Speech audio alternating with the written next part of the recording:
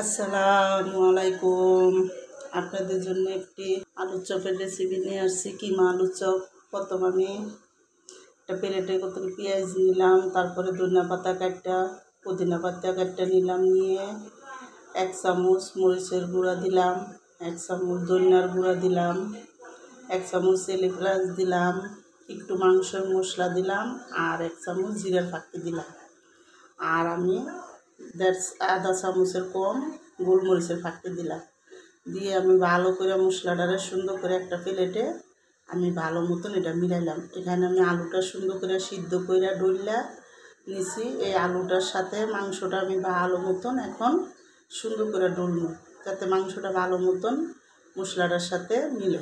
মশলাটার সাথে যখন মিলবে তখন আমি দেখুন এইভাবে করে আলুটা সুন্দর করে একটা ইয়ে করে নিয়েছি নিয়ে আমি এখান থেকে কিমা নিয়ে তারপরে আমি এই কিমাটা দিয়ে দেবো। আমি এখানে মুরগির মাংসের কিমাটা সুন্দর করে কইরা রেখে দিছিলাম। ওই মুরগির মাংসের কিমাটা দিয়ে ভালো মতন আমি এখন এই আলু চপটি এভাবে করে বানাবো। বানাইয়া ভালো করে সবটি আলু চপ এইভাবে করে আমি কিমার ভিতরে ঢুকাই ঢুকাইয়া ভালো মতন এটারে আমি ই করে নিব।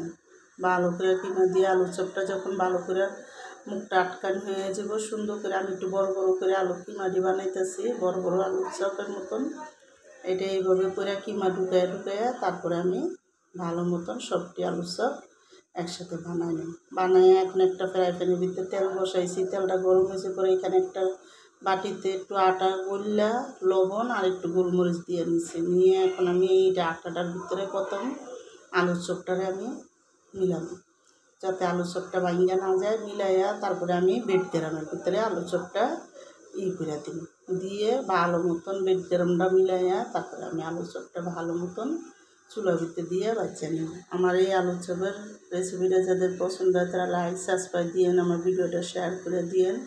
আর আমি তেলটা গরম করে, সুন্দর করে আমি এইভাবে করে সবটি আলু চপ ফ্রাই প্যানের ভিতরে দিয়ে দিই। দিয়ে ভালো মতন আলু চপটিরে এক পিঠ হওয়া পর্যন্ত ভালো করে আমি এটারে ভাজা নিই আমি দেখুন, এইভাবে করে আমি আরেকটা আলু চপও আমি এখানে দিয়ে দিলাম ফেরাখানের ভিতরে দিয়ে এখন আমি আরও একটা আলু চপ সুন্দর করে মিলাইয়া একসাথে আমি দিয়ে দিই দিয়ে আলু চপটি ভালো মতন একটা পিঠ হইলে তারপরে আমি উঠাইয়া দিই আলু চপটি যখন সুন্দর করে দেওয়া হয়ে যাব দেওয়া হয়ে যাব তারপরে আমি ভালো মতন। এখন চুলাটা কমে আস্তে আস্তে আলু চপটিটা উড়াই দিব। দেখুন, আমি এইভাবে করে আলু চপটা উড়াই দিলাম। এখন যখন একটা ফিট হয়ে আইছে, আমি আরেকটা ফিট দিয়ে দিলাম। দিয়ে এখন আলু চপটি সুন্দর করে আমি একটা প্লেটে উঠাইয়া রেখে দিলাম। আমার আলু চপটি সুন্দর করে বানানো হয়ে আইছে। আমি এইভাবে কইরা সবটি আলু চপ বাজ্যা নিলাম। বাজ্যে এখন আমি একটা প্লেটে রেখে দিলাম। আমার আলু চপ বানানো শেষ।